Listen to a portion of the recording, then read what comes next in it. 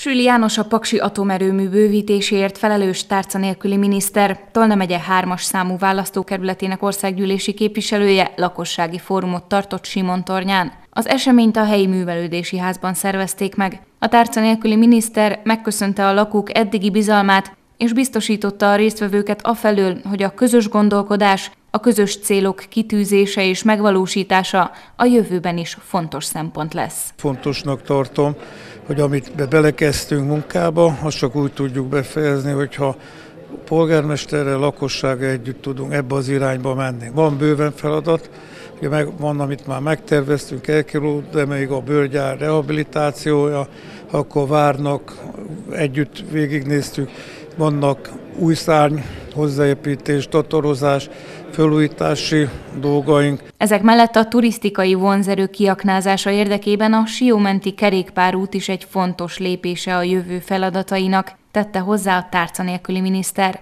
Az élhető település érdekében az utak megfelelő állapota nélkülözhetetlen, melynek forrást biztosíthat az a számos pályázati lehetőség, ami a fejlődést hivatott támogatni. A Magyar Falu programba ott megjelentek már harmadikán a kiírások, és akkor a térségfejlesztési tanács, amit létrehoztunk, közép-dunamenti kiemelt térségfejlesztési tanács, ott is az Unióból megérkeznek a források, ugye már munka el van végezve, sok mindent tudunk, hogy milyen igényeik vannak a helyi településvezetőknek, hogy arra akkor tudunk együtt forrást találni. A Fidesz-KDNP Tolna megye hármas számú választókerületének jelöltje hangsúlyozta, Simon tornya is rohamos fejlődésnek indult az elmúlt években. A napokban például egy új tűzoltó laktanyát adnak majd át.